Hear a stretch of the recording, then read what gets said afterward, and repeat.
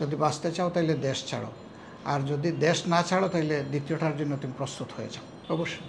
আমি উনি যখন দেশ থেকে তাকে চলে যেতে বাধ্য করা হয় তার জীবন যখন ঝুঁকিতে পড়ে গেল হুমকি দেওয়া হলো যে তুমি কি বাঁচতে চাও? না তুমি নিজেকে শেষ করে দিতে চাও। যদি বাঁচতে চাও তাইলে দেশ ছাড়ো। আর যদি দেশ না ছাড়ো তাইলে দ্বিতীয়টার জন্য তুমি প্রস্তুত হয়ে যাও। তো এরকম একটা অবস্থায় একজন নিরীহ নাগরিকের কি করার থাকে? সে তো বাধ্য হয়েই দেশ ছেড়েছে। এটা জাতির জন্য দুর্ভাগ্য। সে কোনো দলের এসেট নয়, কোনো গোষ্ঠীর এসেট নয়। সে কিন্তু জাতীয় সম্পদ, বিশাল সম্পদ। যার কথায় লক্ষ তরুণ উজ্জীবিত হতো। যারা বিপদগামী ছিল, তারা পথ খুঁজে পাওয়ার মতো অবস্থায় চলে এসেছিল। এই, এর আগে এই কাজটা করতেন আল্লামা দিলাওয়ার হোসেন সাইদ। তা এই জাতির এই কণ্ঠটাকে যখন লোহার কাছায় বন্দি করে ফেলা হলো, তখন আল্লাহ তালা তার মতো মিজানুর রহমান আজহারের মতো একটা সম্পদ এই জাতিকে দান করলেন। কিন্তু কপালপুড়া জাতি এই সম্পদ থেকে বেনিফিট না দিয়ে বরঞ্চ তাকে ক্ষতিগ্রস্ত করার জন্য মারার হুমকি দিয়ে তাকে দেশ থেকে বিদায় করল। এটা খুবই দুর্ভাগ্যজনক। ইনি এসেছেন দেশে, হয়তো অল্প সময় থেকে আবার চলে যাবেন, আবার আসবেন। আমরা মনে করি যে এই রকম সম্পদের যারা সমাদর করে না, এই জাতি আসলেই একটা দুর্ভাগা জাতি।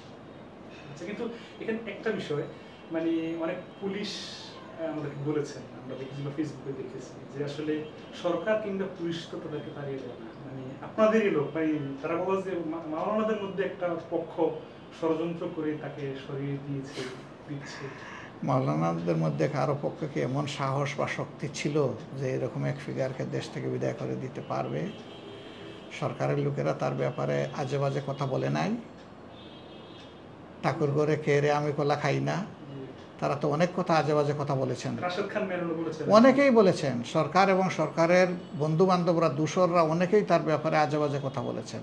এখন এই কথা বললেই হবে?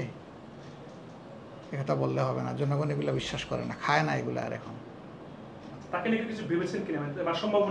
মানে আলহামদুলিল্লাহ সে এই দেশের মানুষ এই দেশের তরুণদেরকে সে উজ্জীবিত করবে। আমরা চাই সে দেশেই থাকুক দেশের খেদমত করুক তরুণদের নিয়ে কাজ করুক জাতিকে নিয়ে কাজ করুক আমরা এটা চাই। এটা সবাই চায়। তার ফ্যান কোনো তার সমর্থক কোনো নির্দিষ্ট দলের মানুষ না। আপনার নিজস্ব প্রতিষ্ঠান যতটুকু শুনেছি আমরা ফেসবুকে দেখেছি যে অমুসলিমরাও সেখানে কাজ করার সুযোগ পাচ্ছে। এটা আসলে আমি তাদেরকে অমুসলিম হিসাবে দেখি নাই মানুষ হিসাবে দেখেছি। তাদের যোগ্যতাকে দেখেছি কোয়ালিটিকে দেখেছি। এই জন্যে যার যেখানে প্রাপ্য যেটা প্রাপ্য সেখানে প্রফেসর আছেন বিভিন্ন লেভেলের শিক্ষক আছেন ক্লিনিশিয়ান আছেন টেকনিক্যাল স্টাফ আছে নার্সিং স্টাফ আছে। তারপরে যাদেরকে চতুর্থ শ্রেণির কর্মচারী বলা হয়, আমি চতুর্থ শ্রেণি বলি না, আমি বলি যে প্রাইমারি লেভেলের কর্মচারী যারা আছেন, সকল লেভেলে বিভিন্ন ধর্মের লোক আছেন। এখানে খ্রিস্টানরা আছেন, এখানে বৌদ্ধরা আছেন, এখানে হিন্দুরা আছেন, এখানে মুসলমানরা আছেন। আমরা ধর্মের ভিত্তিতে কাউকে এখানে দায়িত্ব দিইনি। আমরা দায়িত্ব দিয়েছি তার কোয়ালিটির কারণে। এবং আমরা এই জন্য আগেই বলেছি, দল, ধর্মের ভিত্তিতে আমরা কোনো মেজরিটি মাইনরিটি এই সমস্ত জিনিস আমরা পছন্দ করি না, এগুলো আমরা সমর্থন করি না।